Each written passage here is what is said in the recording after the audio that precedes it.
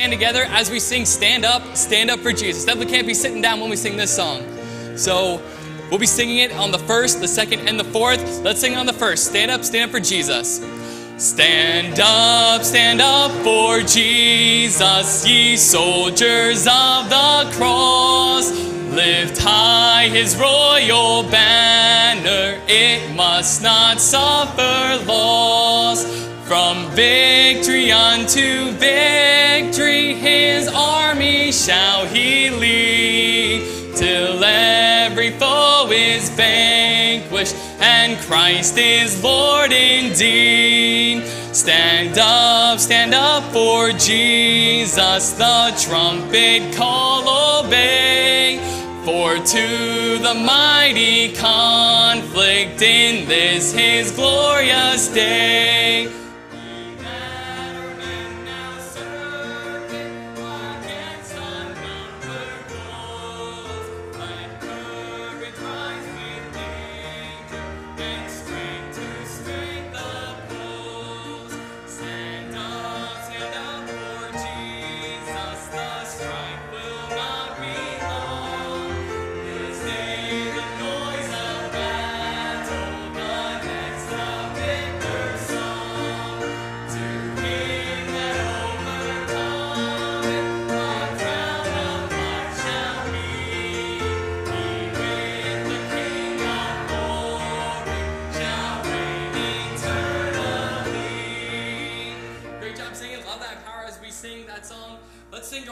Victory in Jesus.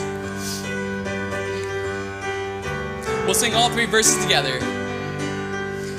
I heard an old, old story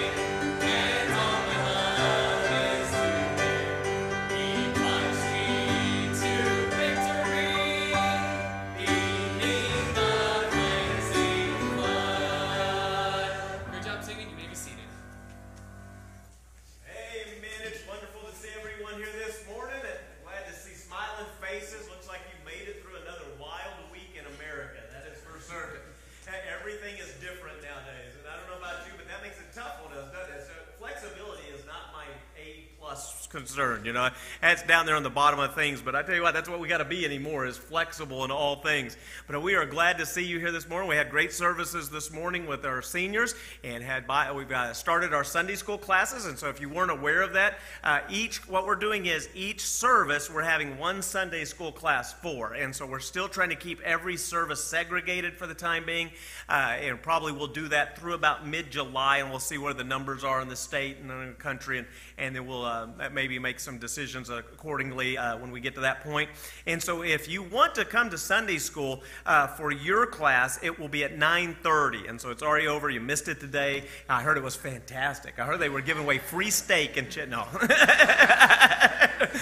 but it, I, it's across the way over there in B8, and so that's for any of you that's in this particular uh, worship service. So if you want to make Sunday school next week, that's when it is. Uh, we do have children's uh, Sunday school as well. We're splitting them up into two groups right now and keeping them there uh, for a little while, and we'll see how that continues to move forward in the near future. We'd also have teens separated across the way for Sunday school, so we're going to be offering the teens a Sunday school class at 9:30, and then one also at 5, because our teens are kind of coming in those two services there. So we're trying to make uh, accommodations for everybody. And like I said, we'll keep it this way for at least the next probably five or six weeks, and then uh, we'll make a decision whether we need to make another change and move forward. But I'm glad to see you here this morning. I tell you what, let me just thank everybody who had a part in the uh, offering for the Navajos. Uh, what a tremendous offering. I was just ecstatic over that. We didn't give you much time, so I didn't know what to expect. You know, we gave it, we told you one week that next week we're going to take up the offering. We gave over uh, $5,100 uh, to the our offering. I would dare say at least probably 90% of our people uh, had a part in that. And uh, because of uh, your graciousness along that regard, we rented a 20 foot U-Haul truck. We packed that thing about three quarters of the way up, all the way from the front end of that thing all the way to the back. Had over 100 cases of water, had tons of toiletries, uh, you know, toothbrush, toothpaste, toothbrushes, everything you could imagine to try to get, help them with uh, hygiene and trying to keep this uh, uh, COVID away from them, and so uh, put it on board, and they shipped that out there. Uh, Jason and and and Noah and Anthony took it up yesterday morning early, delivered all that to the Nezes, and then came back. We had so much come in that we couldn't even use it all for the Nezes, and so we called our other missionary on the Navajo reservation, Aaron Nelson, who's in a totally separate area, a little farther away. And I said, Look, I said, uh, I, I, How are you doing? And he said, Well, we're trying to, and they were trying to do the same thing as Nez is trying to provide. The, he said, So I'm running into Albuquerque every once in a while to purchase some supplies. And I said, Well, I tell you what, we're going to help you out. So we sent $500 to him, and so he was going to run into Albuquerque, buy a bunch more water, a bunch more toiletries, and things like that, and take it to his people as well. So thank you so much for having a part in that. You know, because we're split up, obviously it's impossible for everybody to get to see what's going on in, at North Valley Baptist Church. So from time to time, we thought we, what we would do during this time is just show a little video and just to kind of keep us all up to date about what's taking place. Now, for whatever reason, the wording is lagging behind the video type of deal, so it looks like one of those old, uh, you know, uh, kung fu movies, you know, and so, and so just bear with us on that, but you'll get the gist of it, and well, at least you'll kind of have an idea what's going on at North Valley, because there's some, there's some exciting things, even though we've been up and running only for just a few weeks. So at this time, we're going to show that video.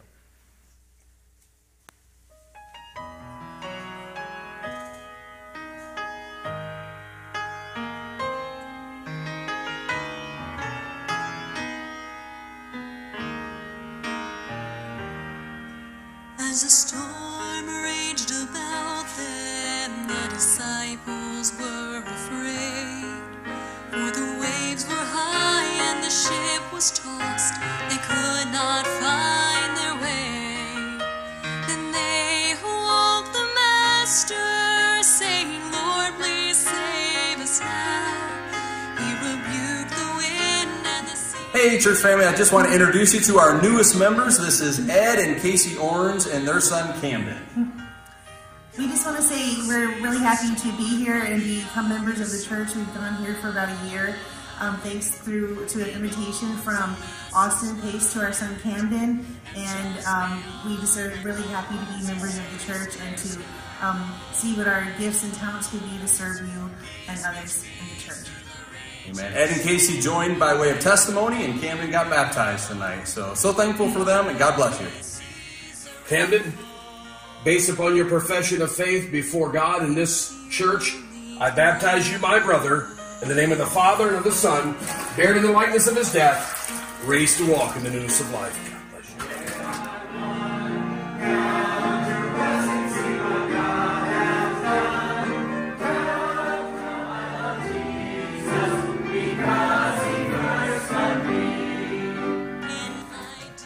This is James Thompson. And James knows, do you know Jesus Christ as your personal Savior? Yes, I do. Then James, upon your obedience to the Lord's command, upon your public profession of faith in Him, I baptize thee, my brother, in the name of the Father, the Son, and the Holy Ghost, buried in the likeness of His death, raised in the likeness of His resurrection to walk in newness of life. All right. This is his wife, Becca, and it's been a pleasure to get to know them. I tell you what, I love what the Lord's doing in our young married uh, uh, classroom. Becca, do you know Jesus Christ as your personal Savior? Yes. Then Becca upon your obedience to the Lord's command, upon your public profession of faith in Him, I baptize thee, my sister, in the name of the Father, the Son, the Holy Ghost, buried in the likeness of His death, raised in the likeness of His resurrection to walk in newness of life.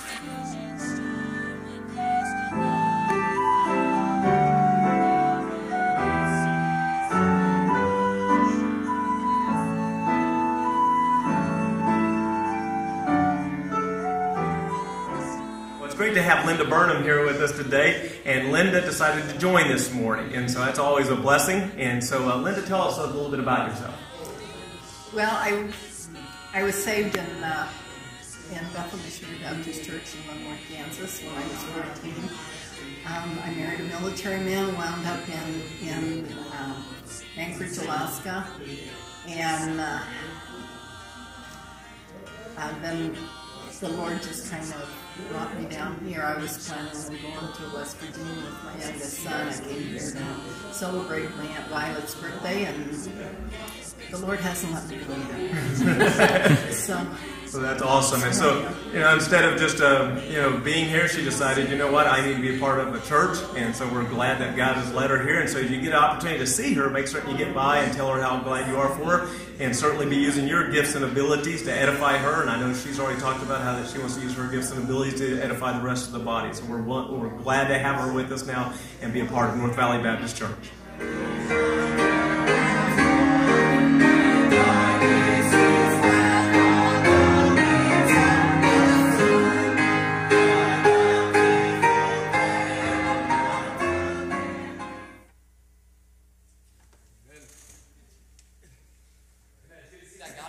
Working in our lives, even though you know things aren't exactly back to normal. God still works in our lives. Let's stand together as we sing "Tis So Sweet to Trust in Jesus." Let's sing it on the first. Tis so sweet to trust in Jesus, just to take Him at His word, just to rest upon His promise, just to the Lord. Jesus, Jesus, how I trust Him, how I proved Him more and. Jesus, Jesus, precious Jesus, oh for grace to trust Him more.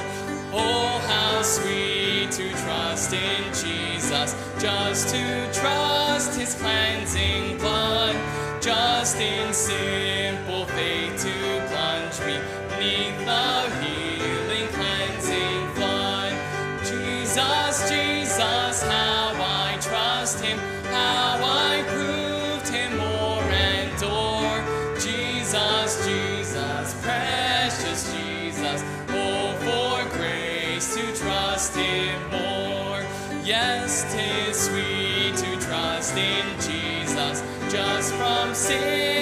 sin to cease, just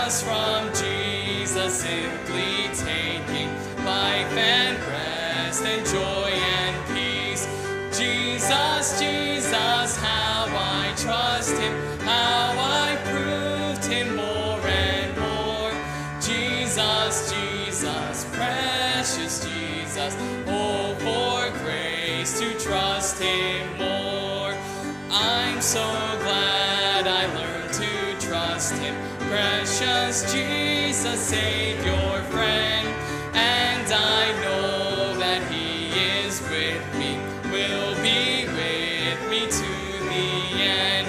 Jesus, Jesus, how I trust him, how I proved him more and more. Jesus, Jesus, precious Jesus, oh, for grace to trust him more. Great job singing. Trust and obey. Sing our last song this morning Trust and Obey.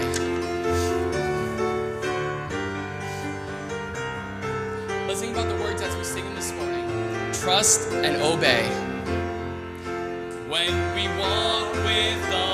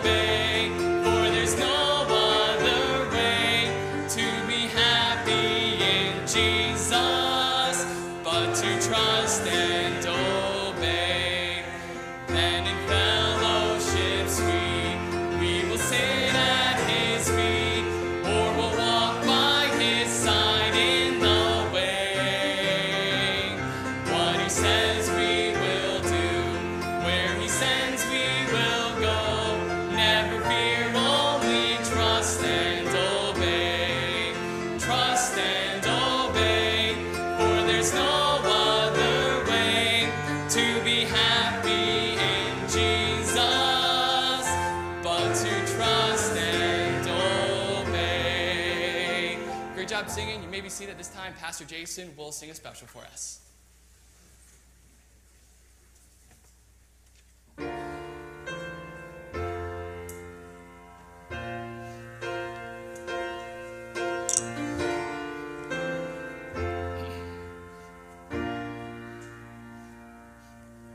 You never asked me to stretch out my arms.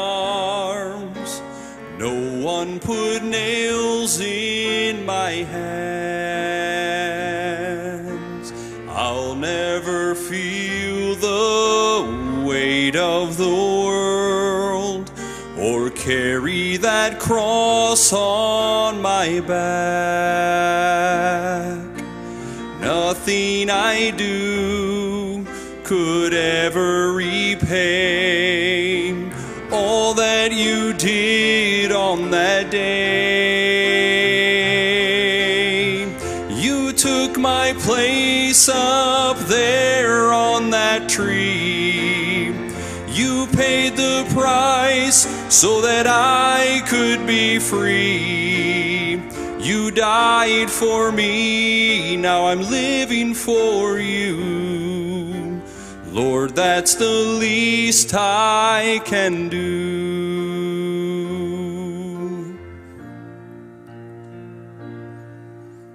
You never send me out on my own. You're always leading the way. All that I ask for is a home in my heart and only a small seed of faith. I know you gave me all that I have, so why it back? You took my place up there on that tree. You paid the price so that I could be free. You died for me, now I'm living for you. Lord, that's the least I can do. You didn't have to walk down that road, you didn't have to rescue my soul. Lay down your life just for me. I should have been taking those steps. It should have been my last breath. But you just want me to believe. You took my place up there on that tree.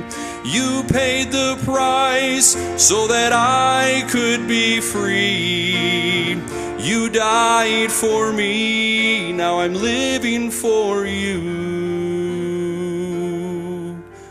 Lord, that's the least I can do.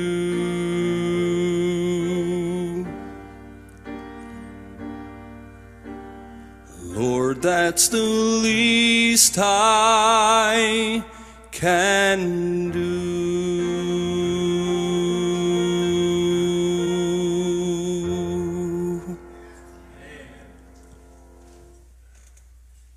Thank you so much, Pastor Jason. If you've got your Bibles, turn with me to 1 Corinthians chapter 6 this morning. 1 Corinthians chapter 6. Continue on through our study of the book of Corinthians here. And uh, our theme this year, obviously, is the power of God.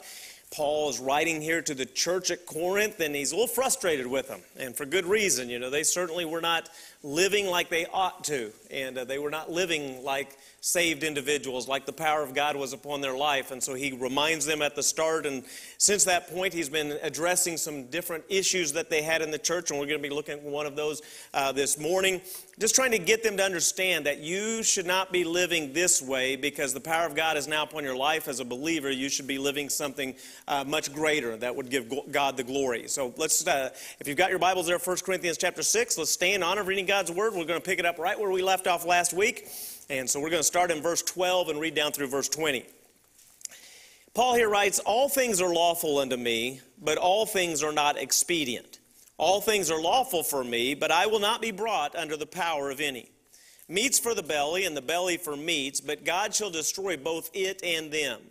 Now the body is not for fornication, but for the Lord, and the Lord for the body. And God hath both raised up the Lord, and will also raise up us by his own power. Know ye not that your bodies are the members of Christ? Shall I then take the members of Christ and make them the members of an harlot? God forbid. What? Know ye not that he which is joined to an harlot is one body? For two, saith he, shall be one flesh. But he that is joined unto the Lord is one spirit. Flee fornication. Every sin that a man doeth is without the body, but he that committeth fornication sinneth against his own body. What? Know ye not that your body is the temple of the Holy Ghost which is in you, which ye have of God, and ye are not your own? For ye are bought with a price, therefore glorify God in your body and in your spirit, which are God's. Let's pray. Heavenly Father, again, we're grateful for your word, and Lord, we would ask that you would speak to us through it this morning, that, Lord, we would hear your voice and not my own. And Lord, we would just ask that you would not only help us to see the truths that you have preserved for us here in this section of Scripture, but more importantly, that you would give us the grace to be obedient to them so that we might live our life in a manner that is pleasing to you. We thank you, Lord, for this time. Help it to be profitable for all. In Jesus' name we pray. Amen. Thank you so much for standing. You know, in his younger years, Paul was trained as what we would call a Pharisee. And so he was taught that in order to be accepted by God, one had to live a life based upon the Old Testament laws and the traditions of men that were passed down through the generations. Now, this meant that he had to live a life that was incredibly restrictive. For instance, the Old Testament law says that no Jew is to work on the Sabbath. Now, religious leaders, feeling this law was too vague, decided that they needed to interpret what the wor- word work entailed. And so, in their interpretation of the law, they decided carrying a burden was an aspect of work. And we can understand why they would say that. I mean, obviously, you know, I've, if I've got a, a big old rick of wood over here and I'm going to move the rick of wood from there over there and I'm having to load up and move from one, I'm calling that work too. You know, I know when I'm done doing something like that, that's work. You know, I, I understand that, you know, uh, in, our, in our community, some of us uh, put new rock down on our, our, our yards, you know, and, and we have to uh, take shovels and throw it in a wheelbarrow and move it over from one place to another, and that's a burden and that's work, that's labor. So we understand why they cause that, but that wasn't enough for them. So it wasn't enough just to say, okay, if you're carrying a burden, that's work. Then they decided, well, we got to figure out what does what is it, what makes up a burden. And so they had to define it even further. And so they felt compelled to explain what constituted a burden. And they decided that a burden is, and I quote from their own writings, food equal in weight to a dried fig, enough wine for mixing in a goblet, milk enough for one swallow, honey enough to put upon a wound, oil enough to anoint a small member, water enough to moisten an eye salve, paper enough to write a customs house notice upon, ink enough to write two letters of the alphabet. If you only had, was carrying around enough ink for one letter, I guess you were okay. Read it enough to make a pen, and on and on and on it went. Now, therefore, those like Paul spent their time worrying whether a person could move a lamp from one place to another, or whether a tailor was committing a sin if he was walking around with, you know, a, a thimble or some a, a, a, needle and some thread in his pocket, or, or if parents could even lift their children on the Sabbath day. Was that really okay? And if you think I'm exaggerating, remember that these people tried to condemn the man who was carrying his bedroll after Christ had healed him. He had been lame. Uh, Christ allowed him to walk again, made him where he could walk. And as he's carrying his bedroll off, the Pharisees stopped and said, Whoa, whoa, whoa, whoa, whoa. What do you think you're doing? And they allowed him to go past, but they still didn't like the situation. They, they were annoyed that Christ would heal on the Sabbath because they thought that was work as well. And so all of this, now think about this. All that we're talking about deals with just one aspect, this whole idea of burden, you know, this carrying bit about work, only one aspect of one of the laws of the Old Testament. You can just imagine the weight that these individuals must have felt upon themselves when considering all aspects of all the commands that are in the scriptures. And so, yet, this was the very essence of their faith. That their religion was based on legalism, where they had to adhere to all kinds of rules and regulations if they were to be accepted by God. But when Paul met the resurrected Christ on the Damascus Road, such thinking for him was obliterated. He recognized that he was no longer compelled to try and keep every jot and tittle of the law because Jesus had already done that for him. Paul recognized that the hope for acceptance with God that he could not obtain through his own works was found in the finished work of Christ on Calvary. And so, therefore, Paul stopped trying to save himself and instead put his faith in Christ as his Savior. And from that point forward, Paul felt this great release upon himself. That burden was lifted off of his shoulders. He no longer had to think about everything, whether he could or whether he couldn't. He recognized that in Christ he had great liberties and he had great freedom. And because of that, it was one of the mainstay talking points or preaching points or teaching points that he had from that time forward. You know, the Galatian church, he told them, Stand fast, therefore, in the liberty wherewith Christ hath made us free, and not be entangled again with the yoke of bondage, talking about the law. To the Romans, he wrote, For sin shall not have dominion over you, for ye are not under the law, but under grace. To them, to the same group of believers, he said, But now we are delivered from the law, that being dead wherein we were held, that we should serve in newness of spirit and not in the oldness of the letter. He says, We don't have to worry about sitting there going, making certain we have this check off list. He says, We can just serve in a newness of spirit, having this spirit of thankfulness and of love for our Savior. And so, though Paul loved to teach on the liberty that believers had in Christ, if you notice, he almost always taught it in the context that we have been freed from trying to gain salvation by our own righteousness. And his instruction was that we no longer have to try and earn our way into heaven, which we could never do anyway. Why? Because we're all sinners and come short of the glory of God. And so Paul further argued that since believers had been saved by grace, there is absolutely no sin that can cause us to lose our salvation. When we got saved, Jesus Christ made a promise. He says, Whosoever believeth on me shall have everlasting life. Well, that life starts the day you believe on Jesus Christ. That's why when he writes to the church in, uh, in Ephesus, he says, For you who were once dead in your trespasses and sins have now been quickened or made alive unto Jesus Christ. So that's when we were born again, as Jesus said. We were born again. We became his children at that point. And Jesus promised promise that whosoever believeth in him should not perish but have what? Everlasting life.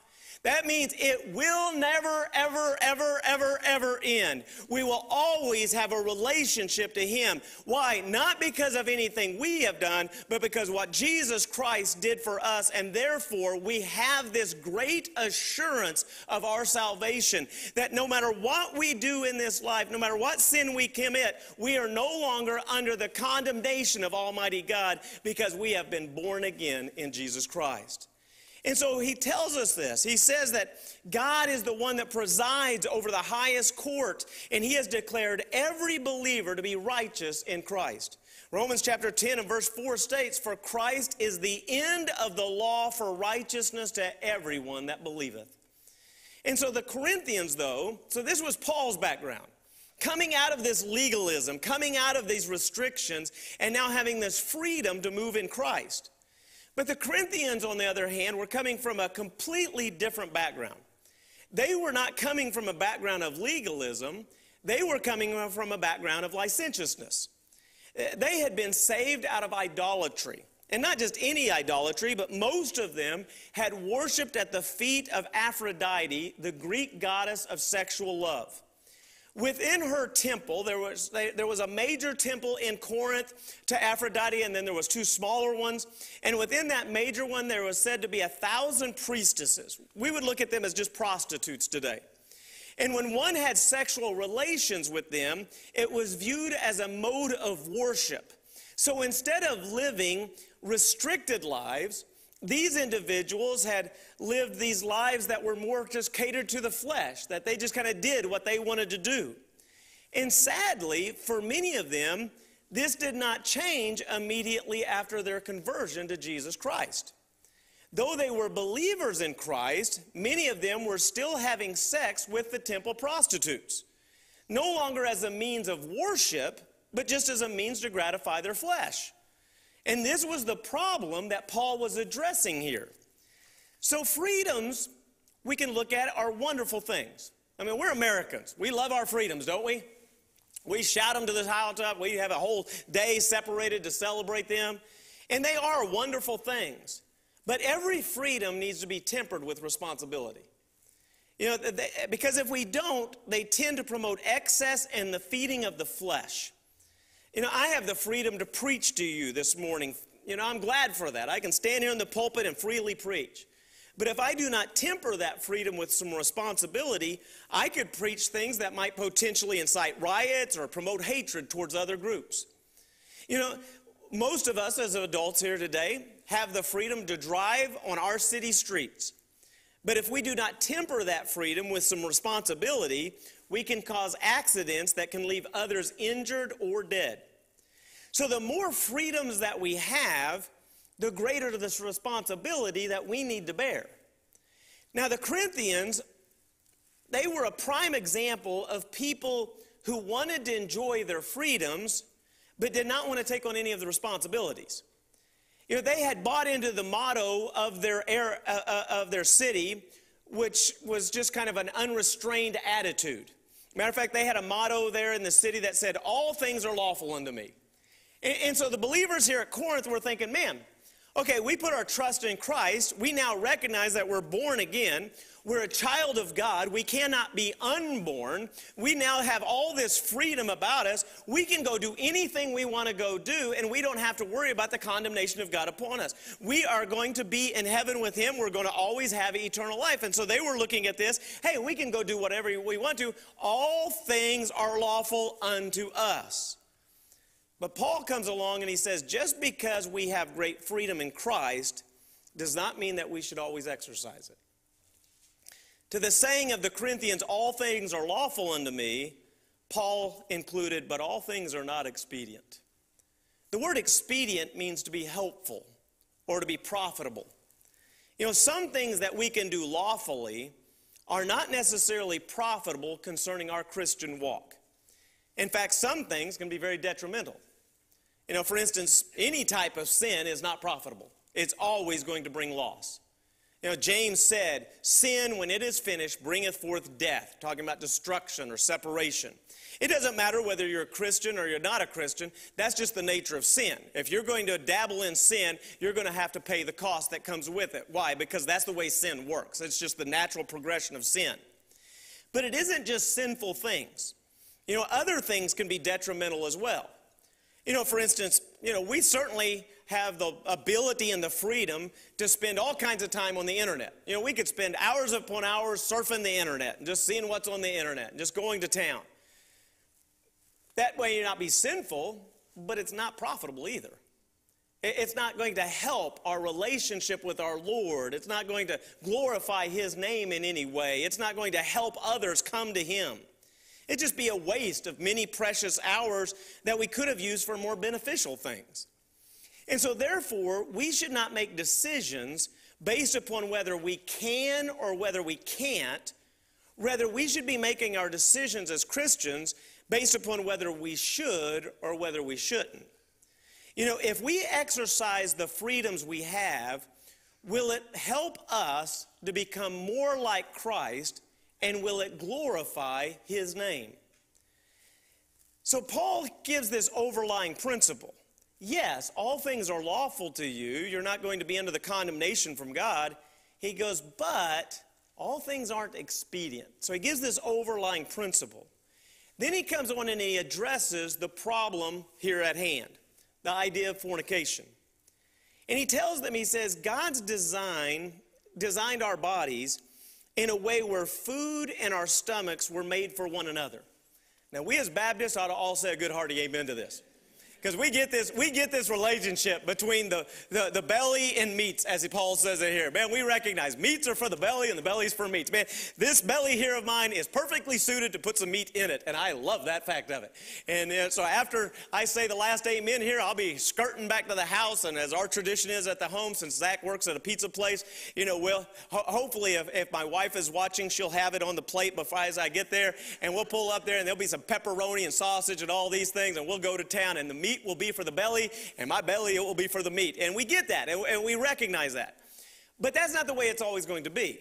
Paul states here that there's going to come a day when this process, this, this relationship between the meat and the belly is going to end. It's going to be destroyed.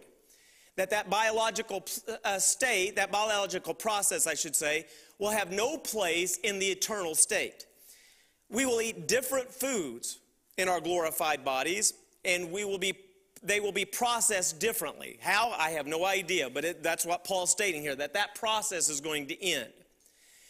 Now, this is not true, though, when we consider the relationship of the Lord to our body, as he says there in verse 13. Our bodies are designed not only to serve the Lord in this life, but also in the next. Now, again, the Bible teaches that our bodies will be resurrected after death and they will be changed, but the purpose for which they were created will not. They have been given to us to glorify the Lord and to build a relationship with Him, and they will be used for that purpose for all eternity. Philippians chapter 3 and verse 20 and 21 teaches us this. It says, for our conversation, and that Greek word there is citizenship. So he says, For our citizenship is in heaven, from whence also we look for the Savior, the Lord Jesus Christ, who shall change our vile body, that it may be fashioned and like unto his glorious body, according to the working whereby he is able even to subdue all things unto himself. So he says, Okay, you will still need a body. I will still need a body in heaven when we're there with him, when we have the eternal state here upon the earth. He says, You're going to need this body. And he goes, This body will still be used for the same purpose it was created for now, and that is so that you might have a relationship with me and that you might glorify me through that body. And what Paul states here is he says, fornication perverts this design. As believers, our bodies are not only for the Lord, but as he says here, but they are of the Lord. They are members of the body of Christ. Now, the body of Christ we recognize is the church. It's his body. He's the head. And so what he's saying here is, you know, when, when he goes in, and we'll get there uh, when we get around 1 Corinthians chapter 12, he begins to talk about the body and how that we're all individual members. Just as my body has all kinds of different parts. I got 10 fingers, I got 10 toes, I got two knees, I got two uh, shoulders, you know, I got one nose, I got two ears, all these different members, but they make up the one body. And what he states here is, is he's saying that when you recognize this, each one of us as a believer is a member, one member of the entire body of who? Jesus Christ. And he says, so therefore, he says, not only are you made for the Lord, but your body is part of the Lord. Therefore, for Christians to commit sexual immorality is to take members of Christ and then make them members of harlots, or if the sin is committed by a woman, to whoremongers. So, this is because fornication involves a union. The man and the woman become one flesh. And therefore, when a believer commits sexual sin, he or she involves Christ in the process. Now, this is not to imply that Jesus is somehow personally tainted by the sin. He is not lowered or defamed that way, but his name and his reputation is sullied because of the association. You know, even the lost world understands that Christ and sexual immorality do not go hand in hand. You know, this is why they mock Christians who get caught committing such acts. They know that they have done something that is completely contradictory to the Lord that they profess. What then should a Christian do when faced with sexual temptations? Well, Paul tells us here in verse 18 flee fornication. He says, don't mess with it, flee it, get out of there. You know, we are to immediately extricate ourselves from the situation. We are not to see the flirtations of the opposite sex as a spiritual challenge to be met, but a spiritual death trap to be escaped. You know, we should follow the example of Joseph. You remember Joseph there in the Old Testament?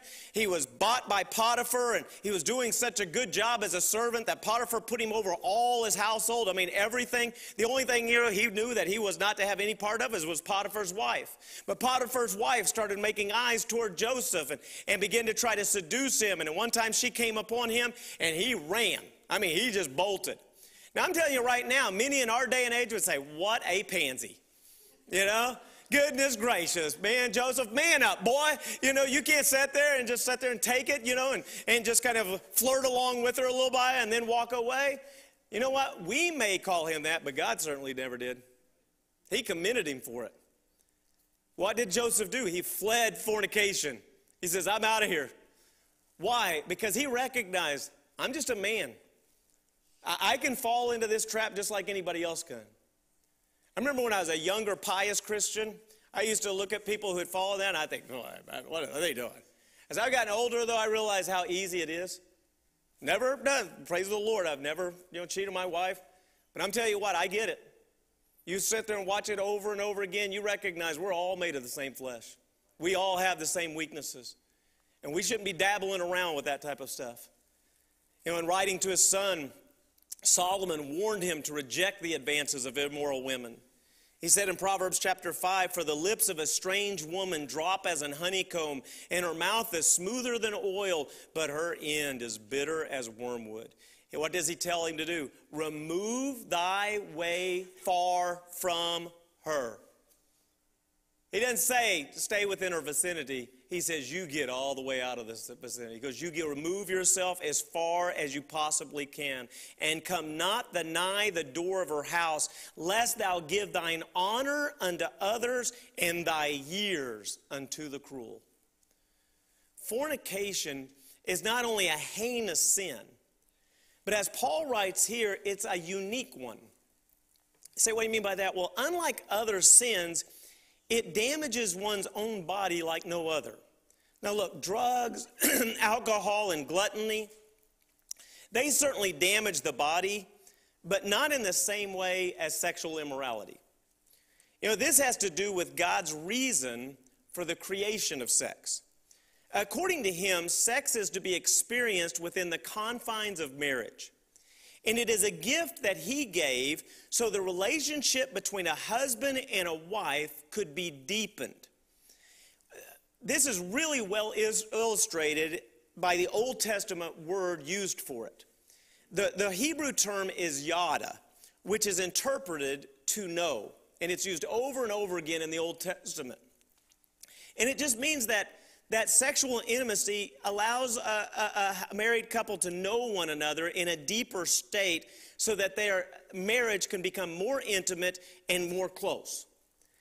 Now, why? Because God always uses the marriage of his people to, to be a symbol or to be a type of the marriage he has with his bride, the church. The goal of both is the same that we might become one. What do you mean by that? A married couple, God's desire for them is that you think alike.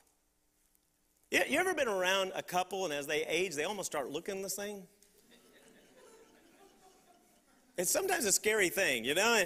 But they just, they, they begin to think. You, ever been around people who have been married very long, if they have a good relationship and they can almost finish each other's words for them? you know, that sentences for them. They can just go right along. They just know what the other's thinking. Sometimes you don't even have to say it. You ought to still say it, by the way. but you know, they just know why because they've been around so long and they got this intimacy together. They've been so close in their relationship, not just through the sexual aspect of it, but that's part of it. And they have just grown so close together that they're just one. And that's God's desire for His church, His people, to be with Him. He says, I want you to what? Understand my word so well and be so consumed with it and have a relationship with me that we just grow as one. That's why the scriptures say that Christ is in us and we are in him. In other words, we become one and the same. You can't hardly differentiate one from the other. That's the design that God made when He made sex. It's a tool, it's a mode where two people can become one. Well, the problem with sex outside of marriage is that it divorces the means from the desired end. It, it devalues our bodies where they become vessels for personal gratification instead of vessels whereby a, wonder, whereby a wonderful God honoring relationship can be built. Now, this separation of the means from the end can really be likened almost like bulimia. We, we all know about bulimia. You know, a bulimic separates the consumption of food from its desired end, which is what? The nourishment of the body. So a bulimic satisfies the desire for the food, but in doing so in this way, it actually destroys their body. Isn't that crazy? So, in other words, they're taking a real desire that should be in every one of us. They are consuming the food, but in the manner in which they are doing it, it causes their body to be destroyed. So now then they get the means, but it does not, it destroys the desired end. The same thing can be said for fornication. Fornication satisfies the desire for sex, but in doing so will destroy the marital relationship it was created for, and it will also destroy the relationship one has with Jesus Christ. And so it takes that which it was created for, so you get the satisfaction and the desire there, but then it destroys the means or the end that God created it for. And so that's why he says here that it's a very unique type of sin. Well, through all of this, then he concludes this section of scripture and he says, There's a reason why you want to live pure life, lead and live pure lives. Every believer has been indwelt by the Holy Spirit of God. And so that means that the Holy Spirit is a seal that we now belong to Him. Say, what do you mean by that? Well, Ephesians chapter 1, 13, 14 gives us this type of doctrine as well as other places in the scriptures, but it just reads, In whom ye also trusted, after that ye heard the word of truth, the gospel of your salvation, in whom also after that ye believed, ye were sealed with that Holy Spirit of promise, which is the earnest of our inheritance until the redemption of the purchased possession unto the praise of his glory. And so when it talks about this sealing effect that the Spirit has on us, in, in, biblical times, kings, when they would write out an edict or a letter, they would put, you know, as most people would, they would roll the scroll up or the paper up, and then they would put just a, you know, they would melt some wax and put a glob of wax there to seal the papers together.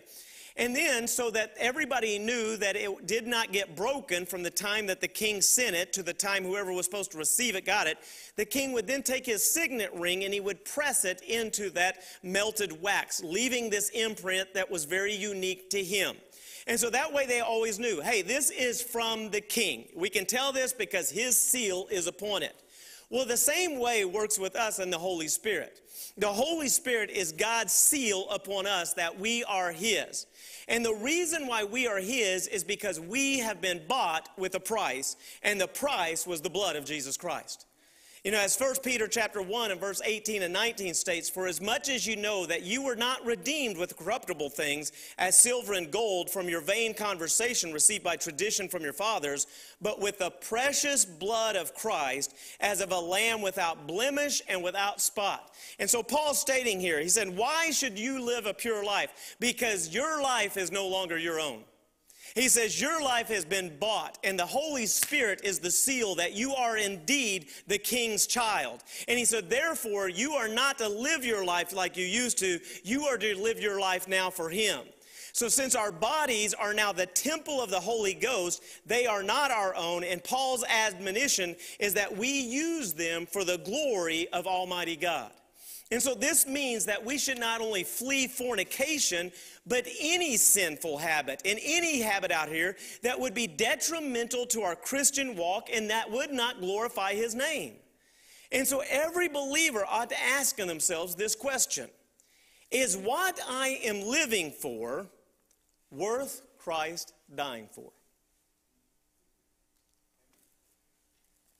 I mean, if we're over here, and we're still living our life for the very things that He died for, is that really giving Him any glory at all? I mean, He died for fornication, He died for pride. He died for, you know, covetousness and, and, and, you know, maliciousness and hatred and things like that. This is what he died for. So why would we continue to involve ourselves in them when we have been bought with a price? He paid a great price so that we might be freed of these things. So that now we would have the ability to serve Christ in a manner that would glorify His name and help others come to Him. And yet, many a Christian today still lives their life like they used to. Maybe your used to wasn't fornication like it was for the Corinthians. But it was just this, this idea of just this fleshly content over here where you just immersed yourself over here in Hollywood and, and all these different things and you just kind of live a, a life of luxury and you just have continued to live that and, and you don't want to really get into the work of God and things of that nature because you're enjoying this and hey, I'm saved. I know I'm not under the condemnation of Christ, uh, uh, uh, under the condemnation of God because I have put my faith and trust in Christ and that is true. But man, wouldn't it be nice for you to be glorifying Him?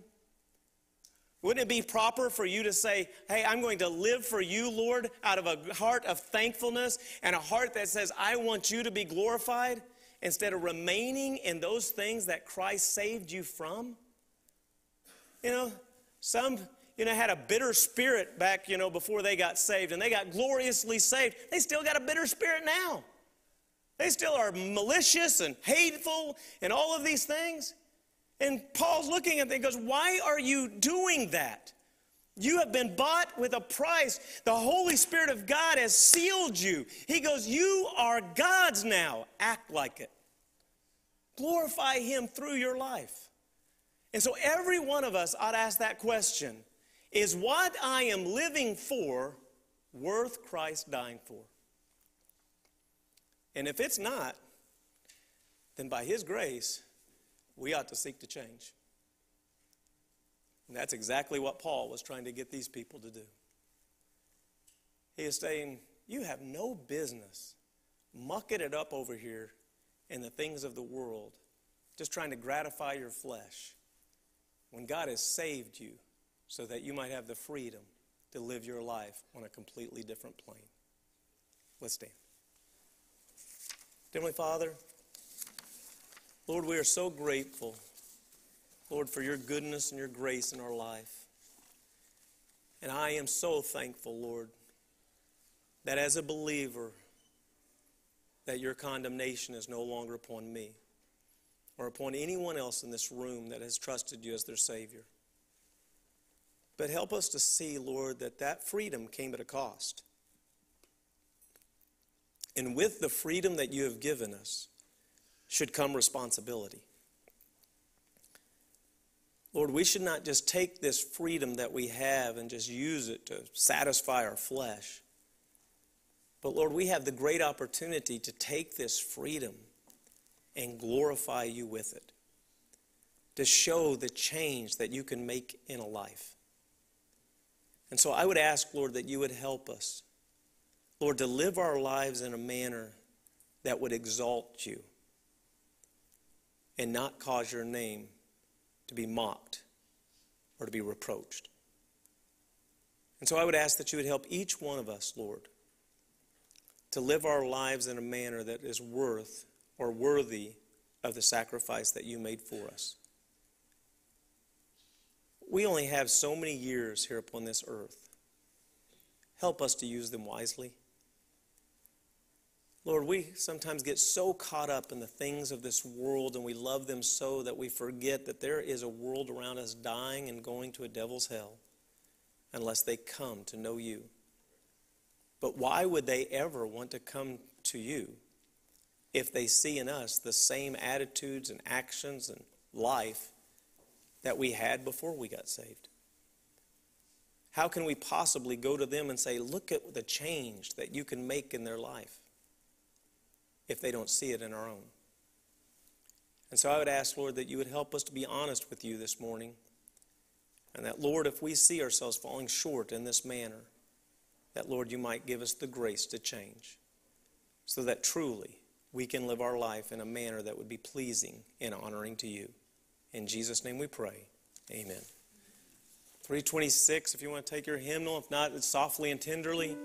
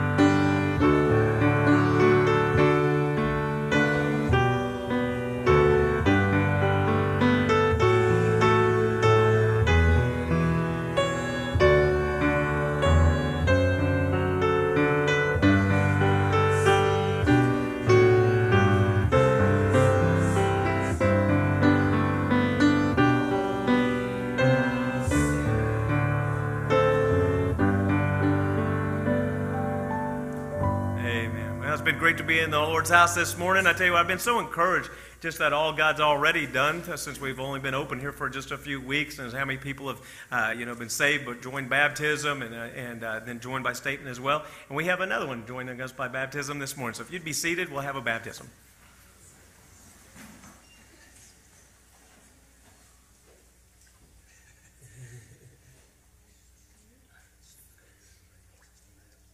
This is Kylie Hagen.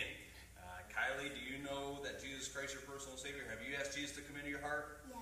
All right, Kylie, upon your profession of faith, I baptize you, my sister, in the name of the Father, the Son, and the Holy Ghost, buried in the likeness of his death, raised to walk in newness of life. Amen.